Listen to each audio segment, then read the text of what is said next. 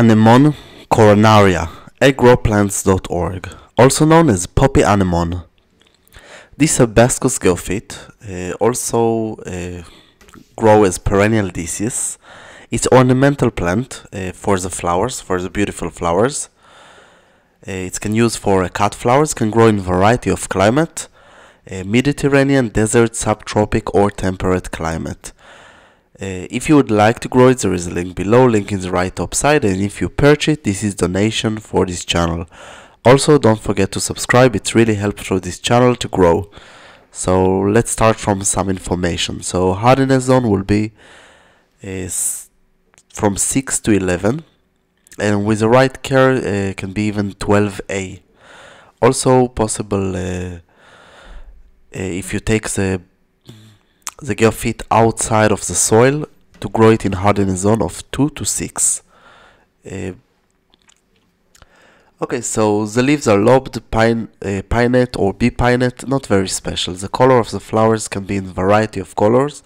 It can be red, white, purple, bordeaux, pink, blue, and can be more than one color. The inner part uh, of the petal can be darker or lighter, uh, especially in the red cultivars.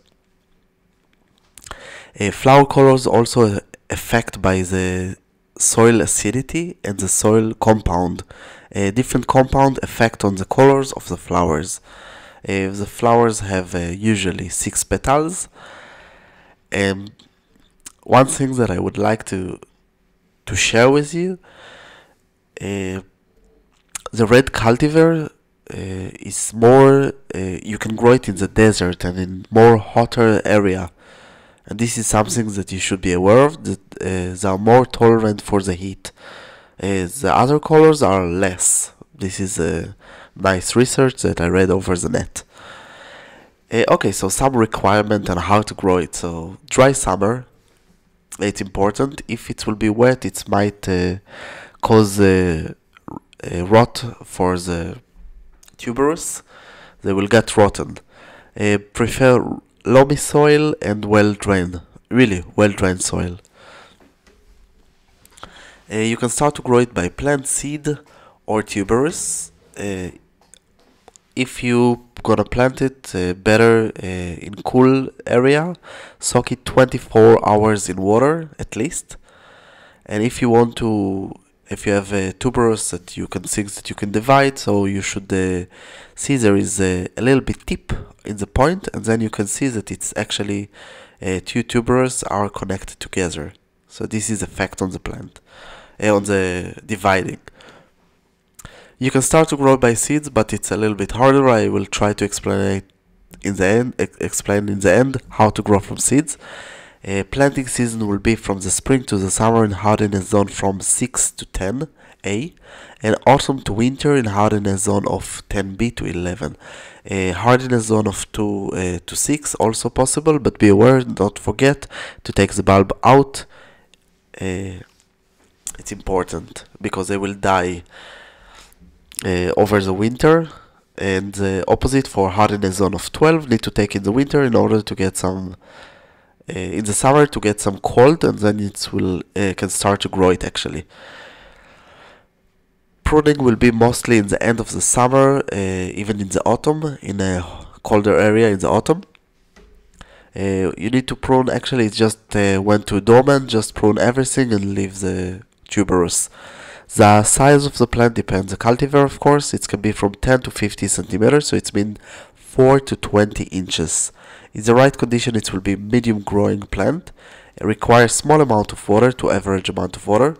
Uh, grow better in more water, uh, but uh, remember that in the summer better without water. Light condition can be from full sun to half shade. And you can grow it also in container. Don't forget one thing about growing in container. Uh, to use uh, better to use a fresh potting mix every year and good drainage it's really important blooming season will be from the end of the winter to the early spring